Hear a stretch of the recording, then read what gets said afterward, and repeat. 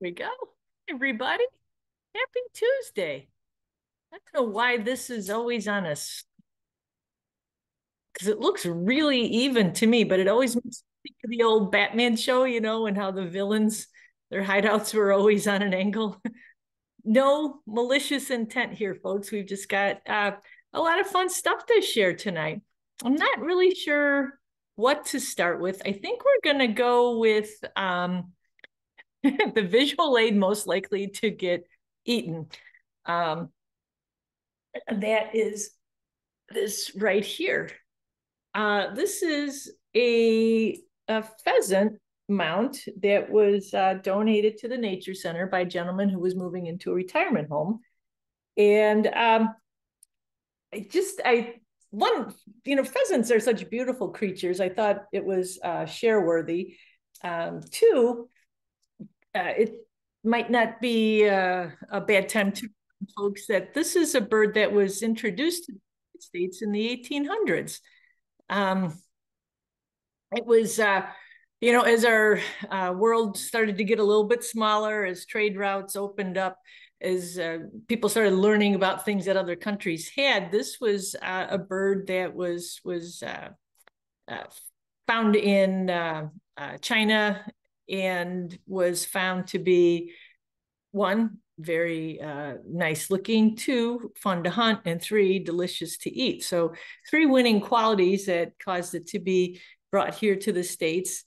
Uh, first couple of introductions, this actually came, um, a lot of things, you know, came uh, from the east and moved their way west. This was actually a bird that was introduced on the west coast, up in the Pacific Northwest, and then uh, introductions were made across the United States uh, moving to the east.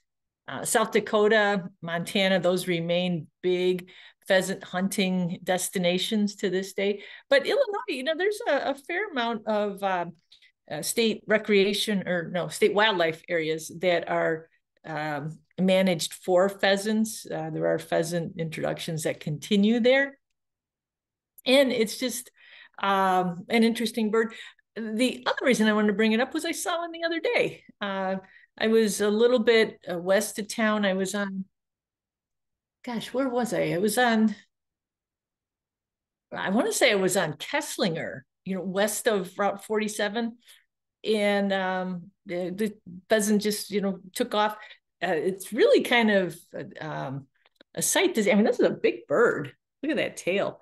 And it doesn't seem like they would be very aerodynamic, but boy, you know, it went, it went sailing through the air and um, uh, was a nice reminder that we still have these birds around.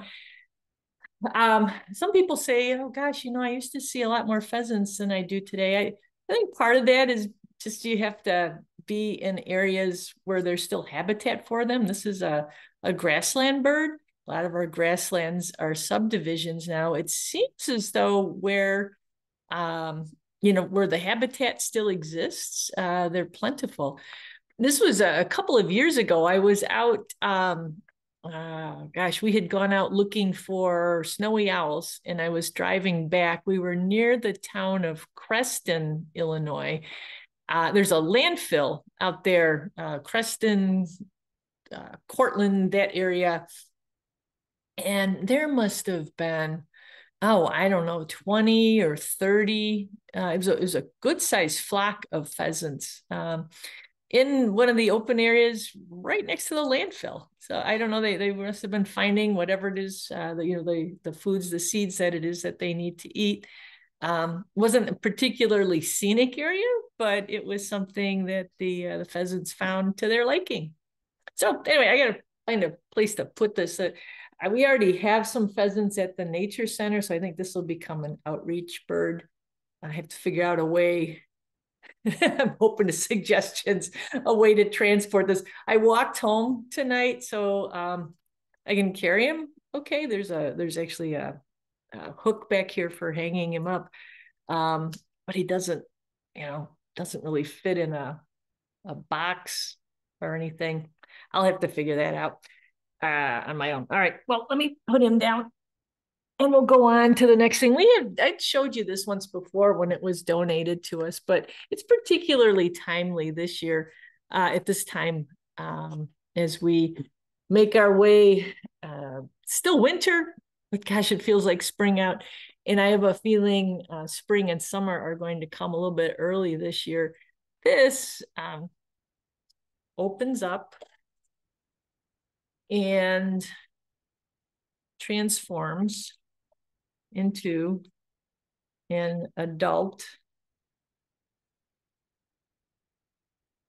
cicada.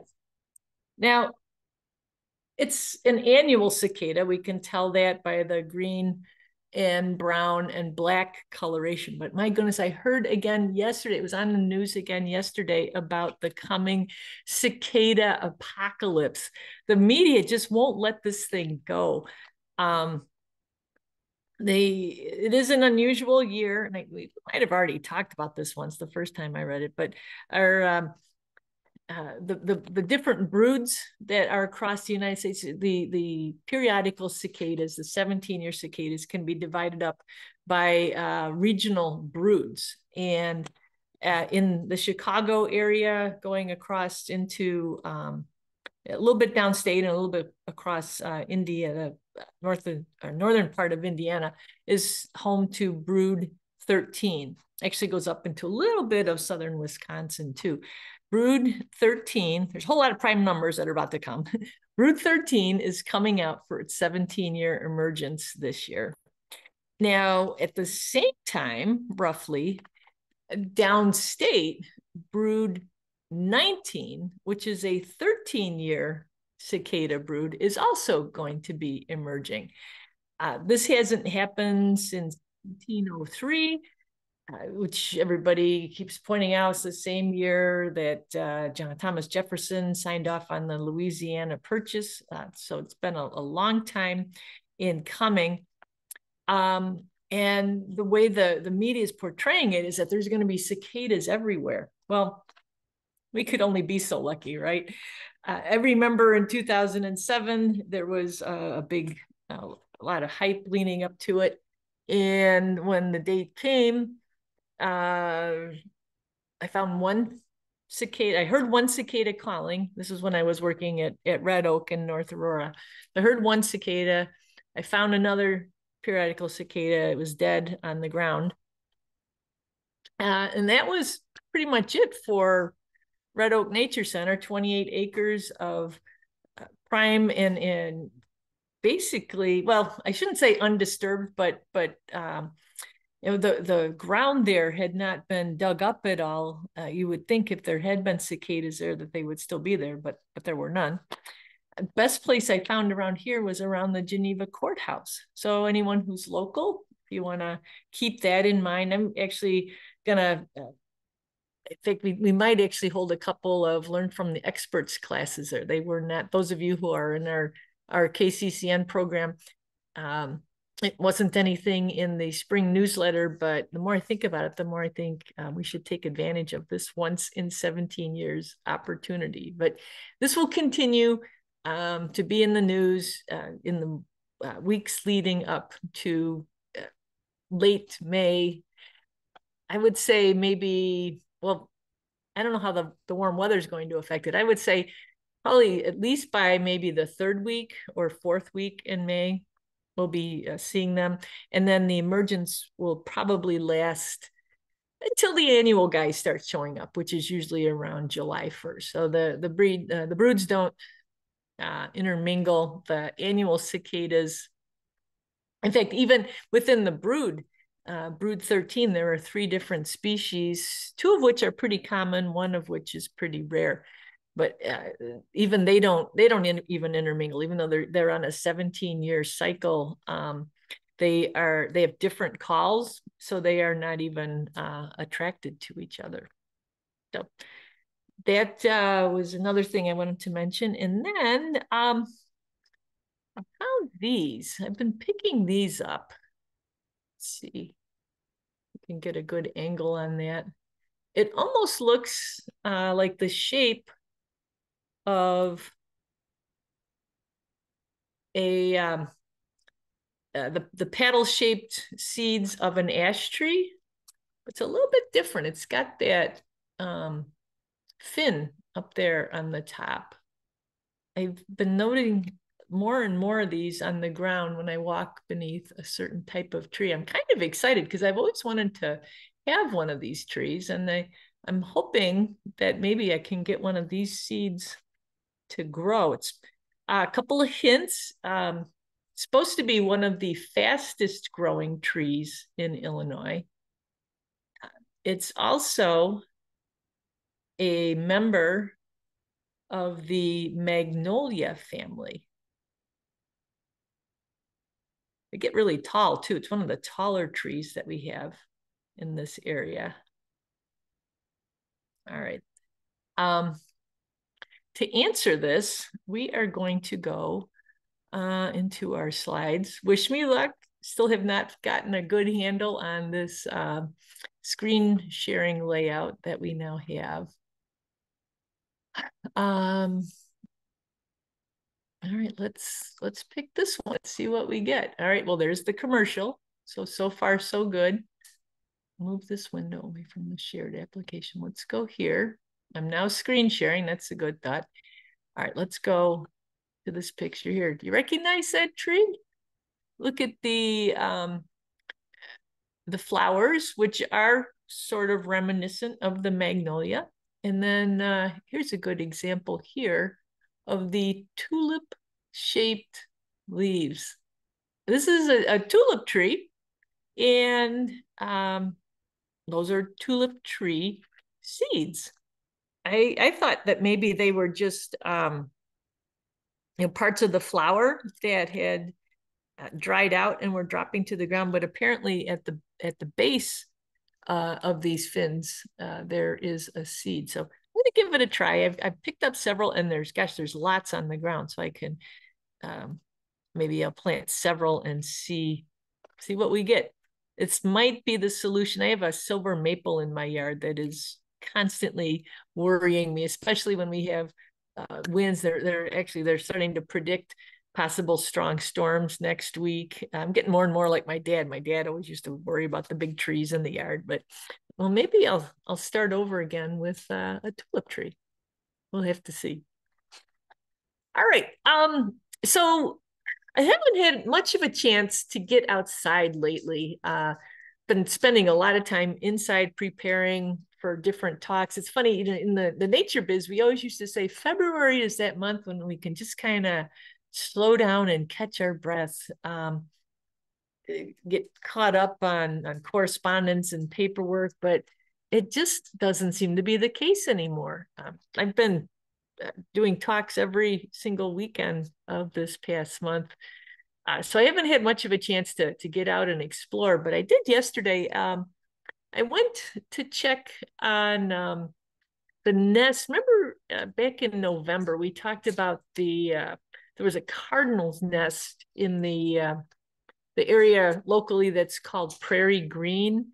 It's uh, near the Geneva Community Garden Plots on Peck Road. And there was a, a cardinal's nest there that was topped off with a whole lot of mouse had climbed up there and topped it off with a whole lot of milkweed fluff. And I'm meaning to get back over there just to see how that nest had fared over the course of the winter. So I, I stopped by yesterday and uh, the bad news is that it did not fare very well. Um, cardinals, you know, they they put their nest together with uh, a lot of uh, a lot of grasses and twigs. Uh, there's no mud or other cementing compound there to keep everything together. So I don't know if uh, if they're they just kind of naturally break down or if this one was hastened along by its um, open exposure. There, it was the tree that it was in was right on the edge of a farm field, so it would get the brunt of any uh, winds from the west. Or if maybe predators recognize birds' nests that are covered with milkweed fluff as having delicious little mousies inside, maybe you know maybe a predator climbed up there and, and knocked it down. It, there was there wasn't anything left to look at. So, well, maybe you know maybe uh, I can find another mouse nest that still has milkweed fluff on top of it. I didn't, but I, I, I had just a kind of an interesting little adventure. Uh, I found this trail, if you can see here, and it's not it's not anything that's been officially sanctioned. There's no sign pointing to it or anything. It's just a deer path that's uh, going between actually uh, two ag fields. You can see the the houses over here. I think that might be um, the Fisher Farms development. That would be uh, east of the garden plots. Um, but it was it was an intriguing little trail. I actually started over here and walked this way. I kept checking. Now, luckily, I don't usually wear light colored pants in the wintertime. I usually wear darker colored clothing, but I did have light colored pants on yesterday. Uh, I was a little concerned walking on a deer path like that that I might get some deer ticks. But the good news, I, have actually had several people say that they have found ticks either on themselves or their dogs already this year. Um, I didn't get any ticks knock on wood that I, I have found so so that was a good thing uh, and this path was was actually pretty easy to walk along um, I found a lot of evidence of deer browse. Uh, this is one. This is another. Can you see how um, this is not a clean nip?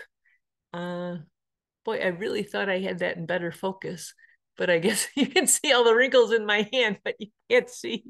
Um, but this is a very jagged, ragged tip.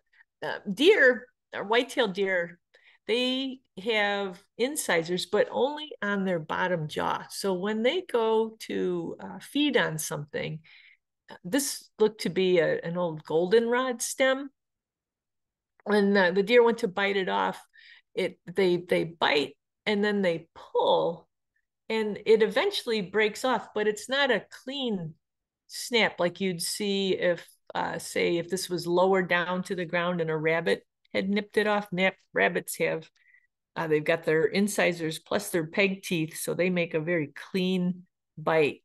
Um, and this was uh, this was pretty high up. I would say this piece, uh, this goldenrod stem, was probably three feet high, where it was was browsed off. Um, this is another plant again, um, uh, not not clean at all. It's it's torn and pulled. This was going all that deer path, and I thought it was it was kind of interesting. In fact, when I was walking, uh, when I was walking home last night, I was thinking about what it would be like to be able to go along and just sort of browse, graze on everything that you walk by. There, there was a lot of the signs of this uh, browsing behavior as I walked along the path. I know, you know, we do have we have our grocery stores, you know, where you can walk down an aisle and you can put things in your cart. It's not quite the same though. It's just leaning over and eating as you're walking, eating and walking, walking and eating. It's kind of made me a little envious of our dear friends. um, next thing, uh, these are cockleburs. And um, there was a whole, not only were there a lot of them uh, standing, but there were a lot that were embedded in the ground. So it seems like that that field um, either wasn't tilled. It, it it it seemed pretty open to not be in use at all. You know, it looked like it had been harvested. Um, but uh, gosh, there was a lot of these, uh, and for about three rows in from that, uh, the path that I went to. And cockleburs, you know, we we see the the burrs on from burdock, and then there's the the smaller, the stick tights, the Bidens, um, lots of little things that can get stuck on our clothing as we're walking along. But this one, this one really has some fearsome hooks. Let's see if we can zoom in here on these hooks of these seed pods. Um, apparently the deer don't like these. I didn't see anything that had been browsed on these plants, but look at how well armed these plants are and um, able to uh, share, hitchhike uh, their seeds, you know, let them grab onto whatever the passing creatures might be. Um, so really an impressive, they say, you know, um, nature gives us lots of inspiration um, and this is one, you know, they say that the guy who invented um, Velcro got his inspiration from burdock. I would think that this might provide some sort of inspiration as well. Um, it's uh, something you know I was happy to uh, sidestep and move along from. I, I, had a repeated notion too as I was walking along. Man, I was glad I was wearing shoes. There were so many um, plant stems and um, seeds like this that I uh, was really glad I had a pair of sturdy shoes on as I was walking out there. Um, and then here's here's our good old friend uh, buckthorn. There was a, a, fair amount. This this particular area um, uh, was not being managed uh, that I could see at all. There were uh, there's a lot of crazy uh, shrubby willows, um, and then there was was quite a bit of buckthorn that was moving in. This is a a look at the buckthorn's buds. And somebody a, a, long time ago had shown me how you can. I this is one one of several ways you can identify buckthorn.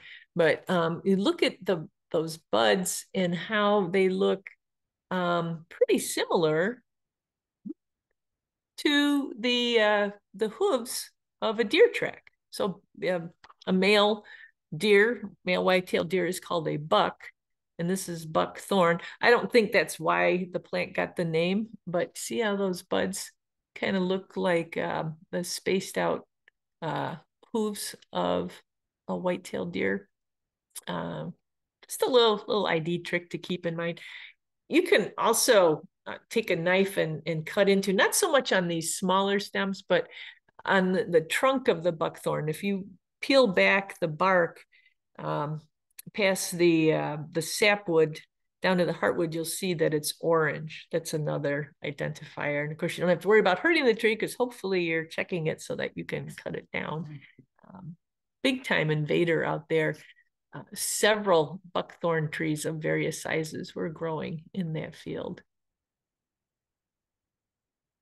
Uh, now this this is actually uh, to the south of where I was walking. This is um, this is a lot of prairie grasses. There was a lot of Indian grass that was here, and that's a thing. I remember when um, I first started learning about restoration in the seed mixes that were being used. I I remember uh, people always cautioning that you you don't really want a lot of grass seed in your uh, prairie restoration mix because uh, the grasses will dominate over time if you don't have large grazing herbivores like bison to keep them in check.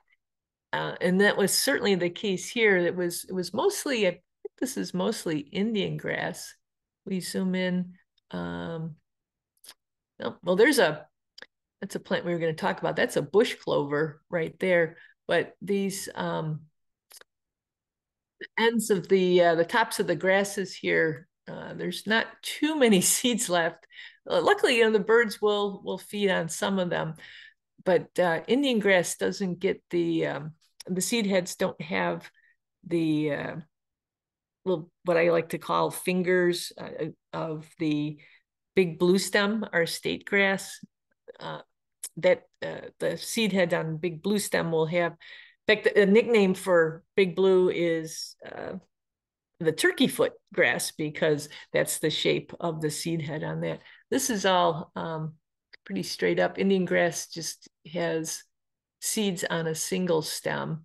But there, there were a few other things like this bush clover. In fact, I think I did a zoom. Yeah, here's a, a closer up look at the uh, the bush clover. This is a, a, plant that's really popular with winter birds. You'll see uh, finches and sparrows uh, feeding on this plant. Um, I did try to disperse some of those seeds after I took the picture in hopes of encouraging uh, a little bit more bush clover and maybe uh, a little bit less of the grasses in the coming growing season. I don't know. We'll have to see see what happens next. And then I love I love a shrub. So I I struggle. I've always struggled with shrub idea. I've never really um, found a, a good uh, course to take. Uh, there's so many shrubs, but every once in a while there's a there's a gimme that comes along, and that's this one here. Those bright red um, shoots there that's a, a uh, red osier dogwood. Um, I can see the red stems. Now there's no uh, there's no thorns or anything on this dogwood. Sometimes you see red canes growing, particularly um, woodland edges. That would be our um, our uh, ras the bra raspberry brambles that we have around here. But red osier dogwood, it's a it's a nice native plant. It makes a a nice little spot of color. Not really something you want in your prairie, but this was on the edge, so um, a uh, a welcome change from the buckthorn that I was seeing over uh, on the other side of this field. Uh, and then there was quite a bit of this. This is a nice uh, grass to see as well. This is Canada rye. It's got all these twisty, uh, mm-hmm. turny types of seeds at the top of the seed head. Um, tried to photograph it was it was kind of breezy yesterday and trying to to uh, focus on leaves, uh, uh, sheaths of this grass that were flopping back and forth, combined with my poor photography skills, uh, didn't really uh, get a lot of success there. But this one had flopped over on the uh, dogwood, so we got a twofer here. We got our red red twig dogwood and our our Canada rye together here. And then here I I tried to show our um, this is uh, dog bane. Let me see if we can focus in here. Yeah, it didn't turn out so well. But there was there was a lot of other fluff, uh, and it got me to thinking. I wondered if uh, if any animals would gather. I would imagine that the floss from dog bane could be uh, used in a similar fashion as the floss or the fluff from milkweed. But then when I when I started holding it, I realized it was it was much finer, and I, I I'm wondering if it maybe doesn't have the same qualities as um, milkweed. It reminded me, uh, Diane. I don't know if you're on tonight, but it reminded me of uh, when you said that even though this is a plant with milky sap, it's not a host for um, monarch butterflies. So it's sort of a um, separate it's it's not even related to milkweed, but the qualities that it has that make it seem similar to milkweed, um, it it's really got some um, some noticeable differences when you start looking at it very close. Um, the fine character, can, that's not really going to tell us much there. Um, but even the seeds that are attached to that floss are they're almost like little needles. They're very small. Um, so I don't know if they would uh, hold much in the way of um, um, nutrition if anything tried to eat it either. But they're pretty pretty good stand. Dog bane, once it gets started in an area, it will spread. Um, another name for dog bane is Indian hemp, which is um, uh, due to the fibrous nature of here we can see this is the tops of the uh, the dog bane here. Here's the these are the pods in these areas. Um, the uh, the stems have uh, these long strands of fiber that can be stripped away, and uh, if you wet them and braid them, they can make a, a pretty strong cord. That was something that was valued by uh, Native Americans and early settlers. So, so it does have some uses in that respect. I don't know that it was used uh, though um, for much else, but good stand of dog bane started there, and it'll probably continue to spread because that's what dog bane does. Uh, and then I found these. I, I love the look of this plant, these little seed heads. Uh, this is this is uh, bee balm monarda. Uh, it's a uh, pioneer prairie plant, and it's it's got a lot of pioneering left to do. It's it's a plant that that gains hold easily and can grow uh, and spread fairly rapidly. Uh, it's really popular with our pollinators in the summertime and then uh, in the winter, you know, once it's done blooming, those flowers all turn to seeds. And each one of these little tubes has seeds inside. Uh, I shook one out here. you can see just how small these seeds are. Probably is one reason why um, they can uh, form uh, a monoculture pretty quickly. There's a ton of seeds in each one of those seed heads. And if even half of them uh, land on the ground and start to grow, uh, we're going to get a lot more uh, Monarda plants growing there. But it's uh, that's not a bad thing. Uh, it's a it's a plant that boy I've seen. Um, of course, it's very popular with our bumblebees, uh, but I've also seen uh, tiger swallowtails and monarchs nectaring there.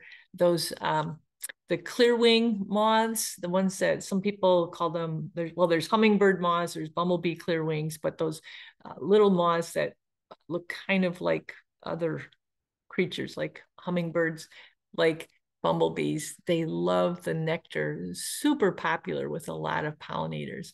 I was glad to see that there is a start of that too coming in. Um, then you know, there's um, this plant, which as far as introduced species go, um, there's some that are a lot worse, uh, bring a lot worse things to the table than this one. You might recognize the seed head here. They commonly will form what's called a bird's nest, this formation here. This is um, Queen Anne's lace. Uh, the, the reason I, I and it, it, it will dominate as well. In fact, if we look at its seed heads, look at all of those seeds uh, inside a Queen Anne's lace If you've ever planted carrots, um, you might notice a similarity to the seeds that are shown here. Um, but these are uh, very prolific seeders, so they they can uh, take over as well. This this plant was right next to the Monarda, so it'll be interesting to see in the future uh, which seeds are hardiest and which uh, which uh, plants win out. This was uh, all along uh, the the path leading back to the parking lot of that area. But one somewhat redeeming quality for Queen Anne's lace is the fact that it is a host plant for our um, black swallowtails. It's a, a, member of the, the carrot family, and that's what black swallowtails feed on. So um, I do always in the summertime like to look carefully as we're pulling Queen Anne's lace from an area. I always like to look carefully on the uh, the stems to see, make sure we're not removing any uh, caterpillars along with uh, the plants. But really impressed. Look at all of those seeds in there. Cool looking stuff, even if it is introduced.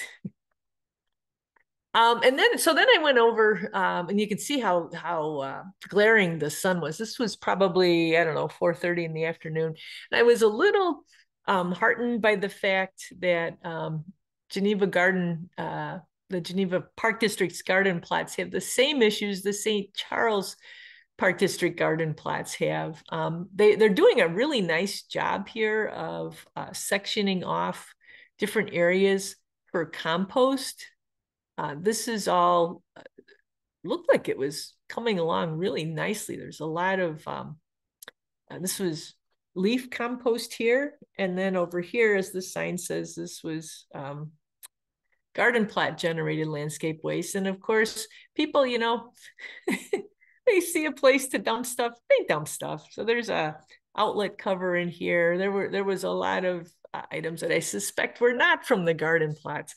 But what was really interesting and what I didn't get a good picture of was the number of birds that were going um, not just to they, they they kind of avoided the garden plot waste, but they went um, they were poking around in these leaves, and then there was yet another bin uh, to the east of the leaf uh, bin, and, and these these were huge piles, by the way. These piles, if I stood next to them, were probably uh, six feet high, uh, so so big, big piles.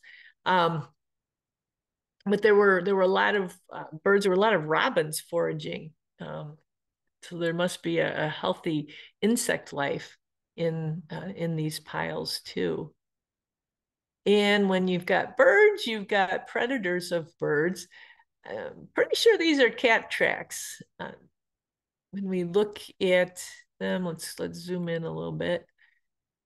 So we've got our one, two, three, four toes, and one toe is a little bit ahead. This would be the right foot um, because this toe is ahead of this toe here. Um, cat tracks, they've got the same number of toes as a dog, but then the heel is in a different configuration. I was wishing the cat had come down just a little bit harder on its heel so we could see what the lobes look like back here. Um, given the location and the size of these tracks, I'm pretty sure this was uh, just a, not, well, yeah, just, just a stray cat. I don't think this was a bobcat. I don't think they were quite big enough for that. Um, plus, this is a pretty uh, exposed and public location. But one, two, three, four toes, uh, an absence of claws. Now, sometimes you can see uh, the claws or the nails of a cat if the uh, substrate is is um, not just deep but also slippery. The the cat will stick those claws out there to get some traction, but apparently this kitty didn't feel the need to do that. Um, and I couldn't find any more tracks beyond this. I think it jumped off of that pile of compost and then went on its way. So uh, popular with those types of predators too, and these types of predators. Now this um, is a scat that was really impressive. When we're teaching tracking classes and we talk about the twisting, turning nature of canine digestive systems, uh, sometimes, especially on, on fresher scats that have um, fewer uh, fur components in them, it can be hard to see the twist. But this one was just twisting and turning all over. And to really appreciate the size, you need something like a lip balm next to it. So two and five eighths inches there. Uh, this scat was probably at least uh, five inches or more in length. And then, um, you know, twisting and turning. It's quite old too. Whatever uh, other matter was in this scat has, has worn away and we're really left with just the fur and um, a few little bones sticking out there too. But this was maybe six feet or so from those cat tracks. Unrelated though. Um, cats definitely don't make twisty turny scat like that. All right, uh, from here, um, oh, oh, there was one more. This this kind of made me laugh too. Yet another thing, um, sharing a, a, little bit of kinship with our friends in Geneva. We find this uh, too at the St. Charles Garden Plots. People uh, they lose stuff, they forget things, and then when our uh, our teams go in to plow the field, uh, plow these plats up to get them ready for uh, the next season, uh, they find all kinds of things. And this one looks, this is a hoe that I think maybe was found after the tractor ran over it. Um, it can be kind of dangerous sometimes for our guys, you know, if there's implements that are left out there that are are metal and, and sharp and unseen can uh, add a little bit of danger to the uh, the garden maintenance tasks that they face. All right, so here, Laura, this uh, these are uh, actually from today, and it, it's funny you you sent these pictures in, and I had just been talking with our marketing manager. She had had uh, a phone call into our uh, restoration ecologist uh, team leader, Ryan. She had some questions for him about a project we're working on. She said, You know, he's not answering his phone. And I said, Boy, you know, it's a perfect day for burning. Um, I had seen some columns of smoke yesterday when I was out, uh, but I, I hadn't noticed any today. But boy, I just wasn't looking in the right direction. This is Hickory Knolls, uh, taken, uh, I'd imagine, from our first uh, what I call the first bump. Um, I think the uh, restoration team calls it the knob, but this is a, a little kame and this is looking down towards, there's the nature center there. Are you on tonight, Laura? Yeah, I just got a tickle. Yeah, sorry. Of course. my throat. Here, I'll of drink course. some tea for you. I need some tea. I'm drinking wine. That's probably the problem. oh, I'll trade you. Yeah, no, um, I came into um, uh, we have um, uh, the nature play school, Oh, sure. we we had planned to spend most of the day outside from twelve thirty to three, Mm-hmm. and um, had been assured uh, when I got there, when I saw some smoke in the distance, that oh, don't worry, it's not going to be close. And I went in and told uh, other staff, well, it's at the pavilion, it's moving to the road, and they're burning the whole prairie. So You can't really get much closer than that, actually. no, no, you, can't. But um, so we we uh kept the kids inside for a, a while, just um, not that it would be a danger to them because we're so close to the building, but I don't think they would pay much attention to us when there's flames and and people and smoke. but uh, I took this afterwards, um, and this is at the top of the Kame, and it's just such a cool, uh, you know, it's almost like a moonscape you Yeah. know, at the top of the Kame, and then you can see, you know, the trail. I never even realized walking that trail how twisty it is.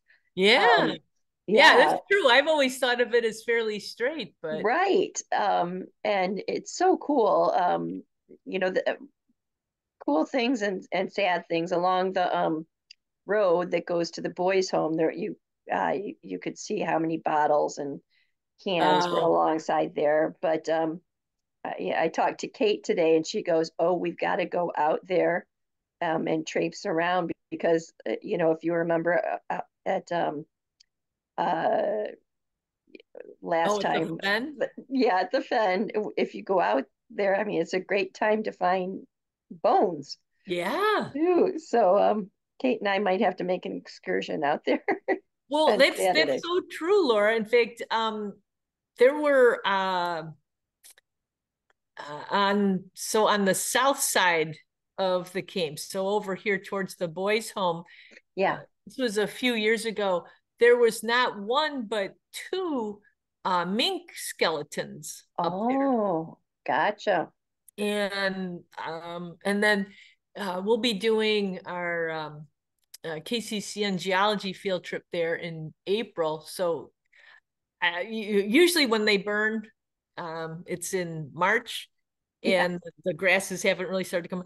With with the kind of winter we're having, we might have you know six inches of grass up by the time we're there in I, you know, I wouldn't doubt it. You know, it's but it it does it does give you a unique uh, perspective on what's out there.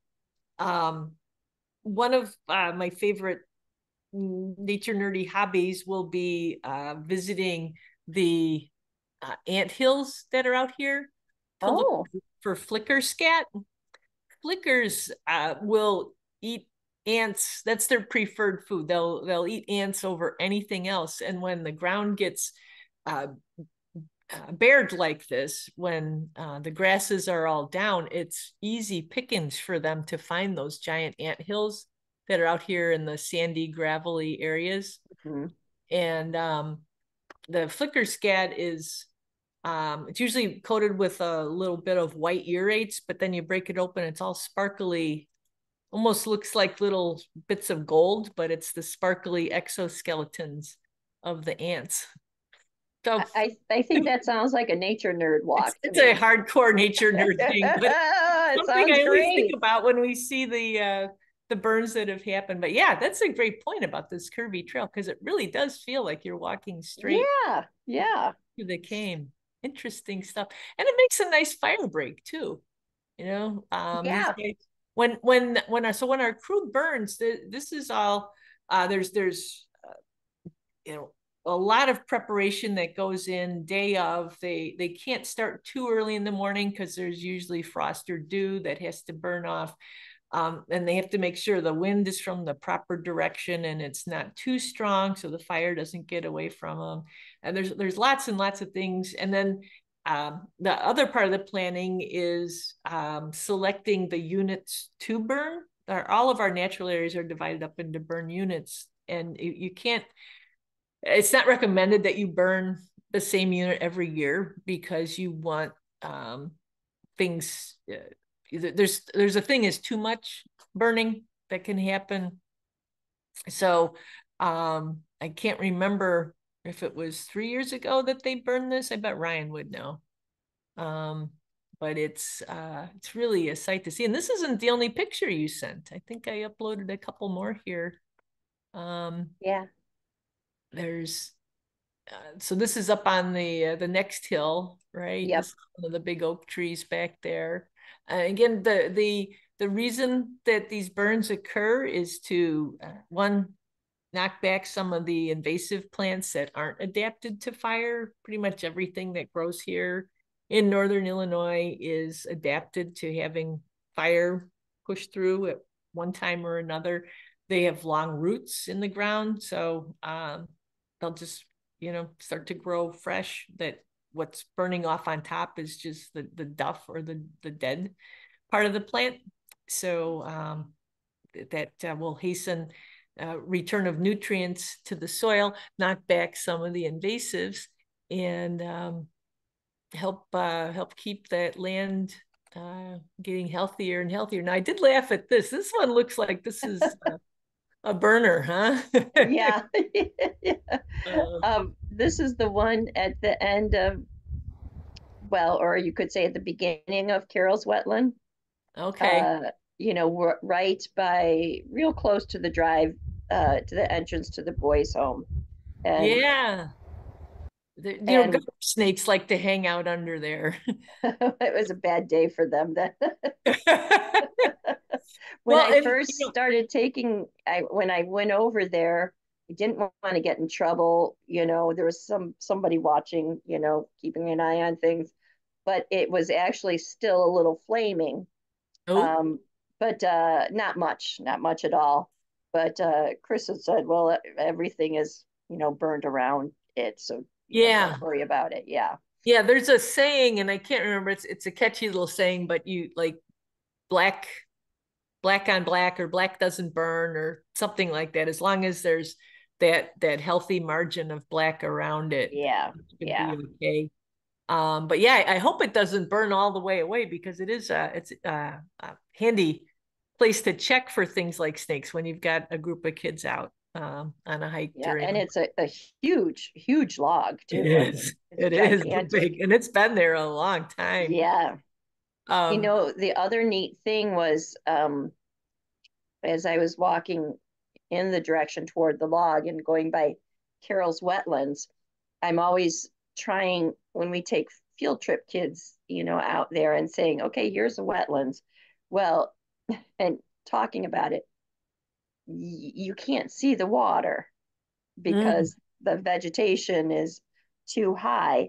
And it was so neat to to see the little uh, kind of like many little ponds and puddly mm-hmm. areas by the willows and for you know um and I'm, and I'm like yeah there I had to convince myself yes there is really water out there because really you can't see it. Well you know I, I have a feeling that back you know before European settlement settlement i think our whole park complex was a wetland because there's there's miles and miles of drain tiles out underneath the soccer fields. And oh. there's a oh. drain uh, somewhere. Let's see, there's the mailbox. I think the drain somewhere over here where water shoots um, underneath the road. Um, okay. And collects uh, over on the nature center side, so it, it can get pretty wet over there too. Yeah, and then it it all it just kind of keeps sloping downward towards uh, Peck Road over there, and I, I really think it was probably wet all over there. When, when in fact, um, these oaks back here, um, which are across the road, um, there were some uh, soil cores that were pulled after we built Hickory Knolls, and they all came up dark, like wetland soil. Oh. So I, I think this is What's left is over here. We call Carroll's wetland, but I really think it's a, a small remnant of what used to be a much larger wetland complex. Who knows? There might even be some mastodons mired out there. we, we can find those too. How cool would that be? That'd be awesome. Ah, all right. I think we're we're at the end. Laura, thanks so much for for bringing us up to date on that. I'm going to stop this share. And then we had we had one more. Um, and Diane, I think you're are you on tonight? I saw your name somewhere, uh, but I don't remember if it was in the emails or if it was in this. Uh, Diane, no, I'm, I'm I'm here. All right, so I'm gonna try and do another screen share to show the video that you shared. Um, and I I did not have good luck doing this last week, so let's see if we can share, share, share. All right, let's try this. Um, says screen share is loading. Um, participants can now see your application. All right, so we're going to watch a little video that Diane made. Um, for better or for worse, you have a new tenant, huh?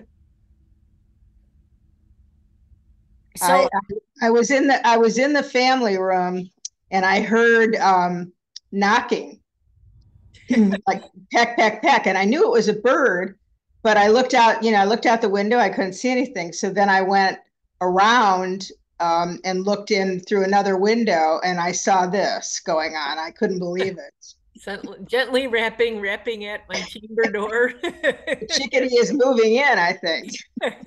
yeah, you know, it's um I remember uh, I was at uh, I was at my brother's house for a Mother's Day cookout. This was several years ago.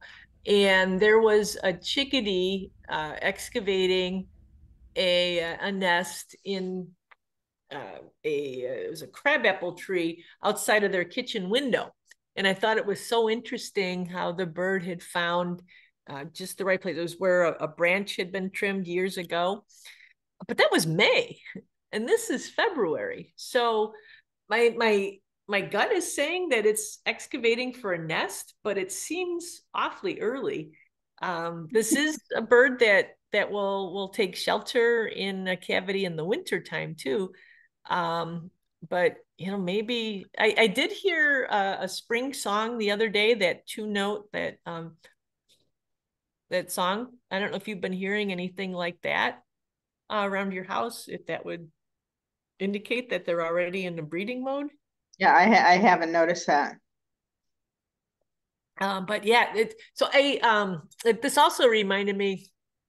I had some friends that um, uh, lived in a, in a, relatively new house. They built it in the 1980s, and um, they uh, found a, a chickadee uh, excavating one of the columns on the front of their house, and uh, it ended up it raised its young in there and then after the chickadee left they replaced the wood.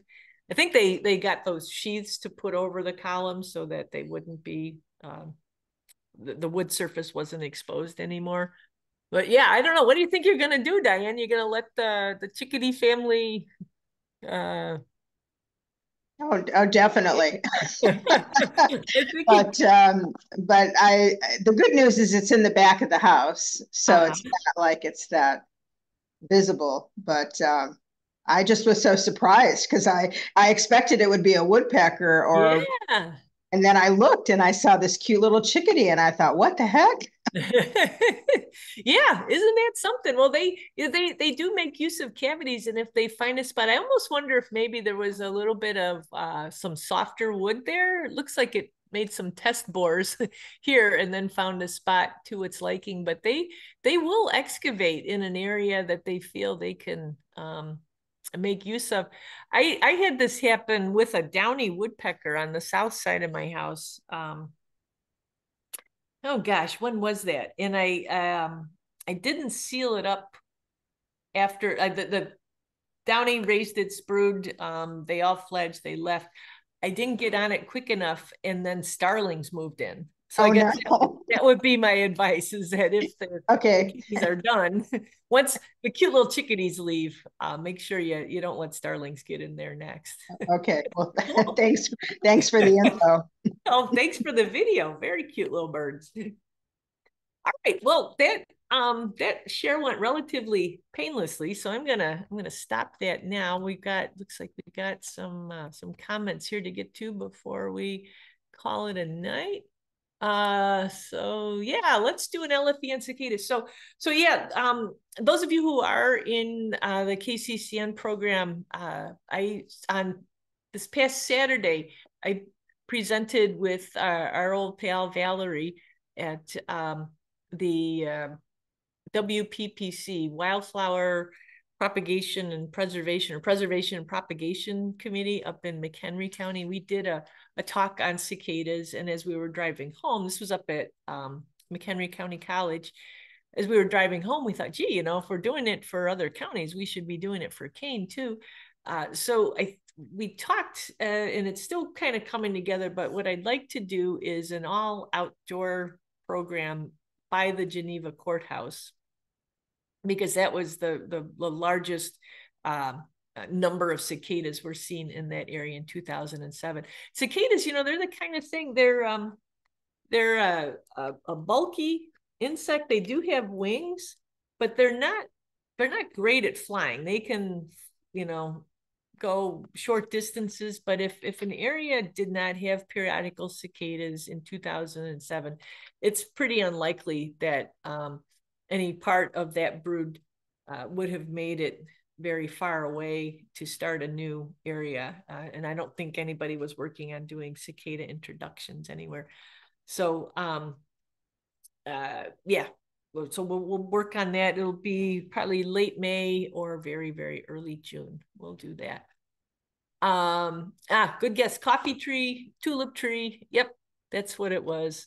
Um, and I will let you know if uh, if I get any of these seeds to start.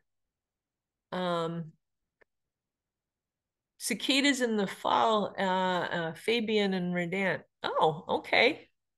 Um, uh, well, I'll, I'll keep that in mind, Melissa. And then uh, Kay's all in on the LFE. And um, Oh, you know what? I, I saw that cicada backpack too, Diane. It it actually it looked it looked a lot like this. It was just bigger.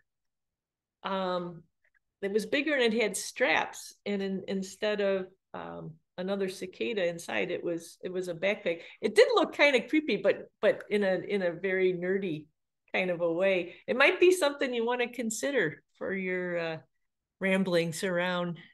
when you uh, uh, pulled that out this evening, I thought that's what that was. I thought it was the backpack, and then it, it uh, the same backpack that I that I received today from my my oldest son. we thought, thought that I might be interested in it. well, why not? It's a statement. It's a fashion statement. uh, and then you, you, said you you did some reading on dog uh, dog bane seed pods, longer, more slender than milkweed, usually in pairs. Um, yeah, dog bane. It was it was useful. I remember um, learning the term Indian hemp to describe the dog bane plant because of the strong the strength of the fibers of that plant. Uh, and we've got a question from Meredith. What happens to ant hills during burns? You know, it, so the burns, that's something I, I, wanted to mention too. So timing is everything with burns, not just with uh, the present weather conditions, but um, also in the the larger scheme of things, getting things burned uh, before um, the uh, amphibians are out, before our, our frogs start to call, uh, before our snakes start coming up from their hibernaculums. The ants, um, so the vegetation, the, the ant hills will be in amongst all of the, the prairie vegetation. Um, they're going to be down inside. A day like this, they they might be starting to move around a little bit, but the heat uh, from the flames they uh, will drive them back down into their hole. Um, the the hill itself is pretty stable. It's made out of um, all the the soil and the sand that they've excavated. So uh, it, it's fun though to to go. So now now that that area's been burned, it'll be fun to go and see um, you can see the holes that um, the birds make by poking in, and then you can see the holes the ants make. When they come out, there'll be little tunnels around them where they've pushed soil out of the way so that they can emerge. So it's it's a whole fun thing that it's really hard to do when there's a lot of prairie plants surrounding them, but when it's bare like that, it's it's fun to spot them and, and go check them out. Um yeah, sad to see the bunnies after these burns. Bunnies, uh, sometimes voles. The so the when an area like this is burned, there is going to be um, some loss of life. I remember this was really early in um, my uh, naturalist career.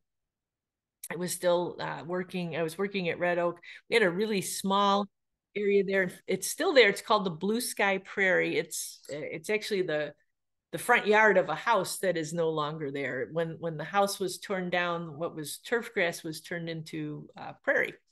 Well, um, we would burn that little patch, and invariably uh, you'd see birds of prey coming. They're attracted to those columns of smoke so that they uh, might have a chance of catching uh, a meal that is either trying to get out of there or maybe has sustained injury as a part of the fire. So um, there there is probably uh, you know voles and a few other things like that that um, did not survive, but it does help uh, the other the higher up rungs of the food chain. In fact, I told our park safety guy tonight he'd come to the office while I was still there, and he he had noted that we'd had a burn, and he said, "Yeah, the coyotes aren't going to have a place to hide anymore." Said, "Well, not for a few weeks anyway, but I think they'll be uh, finding plenty to eat while there." I told him to to check later on to see if he could see any of them prowling around out there, uh, sniffing and looking for some toasted voles or uh, other things like that. Um, and I think that's it. I think we're down to the bottom, and we're uh, we're at nine o'clock too. So, um, folks, that's what I had. Uh, if nobody else, I don't know. Does anybody else have anything? Uh, if not, um, yeah, that doesn't make it any better. I will see for uh, next. Oh, next time we are not meeting next week. Our next um our next good natured will not be uh next week. The next time we'll be here is in March, the first Tuesday in March. So take next week off. Uh, go get yourself some good nature and um, we'll reconvene uh, that first Tuesday in March. Thanks everybody for another great chat. Uh, see y'all again in two weeks. Thank, you. thank you, Pam. Bye bye. Thanks, Pam. Pam. Thanks, Pam. Thanks, Pam. Thanks, Pam.